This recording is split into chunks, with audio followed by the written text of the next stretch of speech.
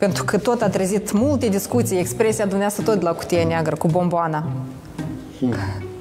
Dumneavoastră, veți, lă- ce fel de bomboane veți lăsa unui succesor? Nu, eu cu plăcere o să stau și am să-i transmit portofoliul așa cum se solicită protocolar să fiu prezent la momentul când se face cunoștință următorul ministru cu colectivul Ministerului Justiției. Adică nu veți Chiar- pleca fără să lăsați bombonieri.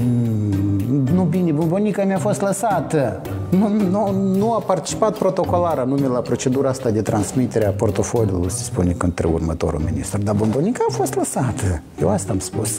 Ok. Dar o bombonică mi-a lăsat, nici măcar nu a dat mâna în- când... Poftim? Când o... Bombonică v-a lăsat? Când a lăsat uh, cabinetul, nici măcar...